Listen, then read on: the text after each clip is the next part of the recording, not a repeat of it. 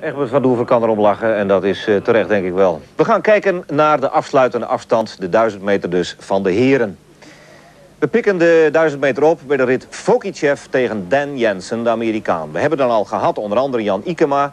die met 1.20.48 onder goede omstandigheden... toch eigenlijk door het ijs zakte, mag je zeggen. Ikema heeft niet voldaan op dit wereldkampioenschap. Hij heeft dat eigenlijk nog nooit gedaan... ondanks de vele malen dat hij al tot de deelnemers heeft behoord. Fokichev dan tegen Dan Jensen. De Amerikaan, waarvan veel was verwacht op dit toernooi... maar die met een twaalfde plaats in het klassement... na drie afstanden toch ernstig teleurstelt. Opening 17-2, dat is redelijk.